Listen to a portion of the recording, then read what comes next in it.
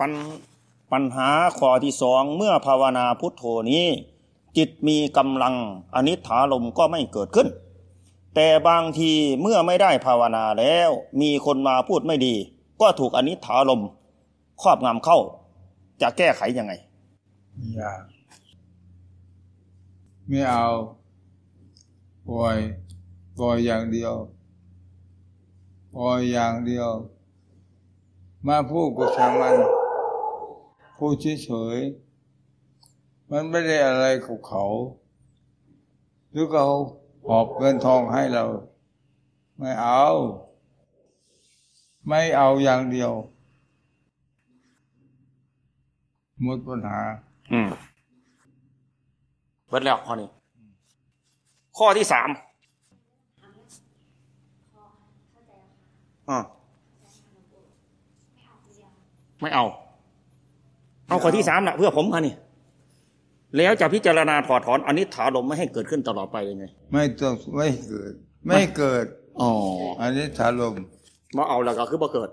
ไม่เกิดไม่เอาก็เกิดอ๋อครับผมอันนั้นอันนี้ถาลม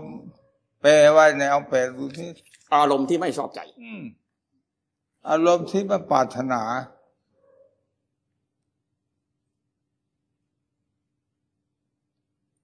เราจะไปเอาทำไม ถูกเขาเหยียบหยามเขาย่ำมี เขาอยากพูดก่อนเขาพูดไปเราห้ามเขาไม่ได้ กรรมมันติดอยู่กับเขา กรรมมันมีเราเอาปล่อยหมดแล้วเขาว่าพระพุทธเจ้าดูสิ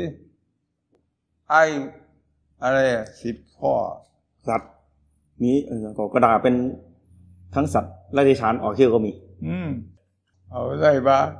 ไล่ว่าจบเอาบ่ต่อไป มันไล่บ่ได้กันมันลืมหมด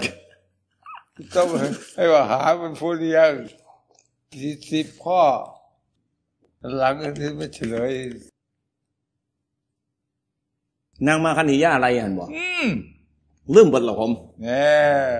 แต่ว่ามีซื้อสัตว์ซื้อวัวซื้อข้วยซื้ออย่างอยู่อืมก็ได้อยู่ครับ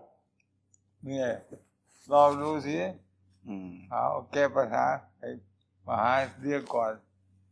หลักฐานยืนยันเลย หากันเมีย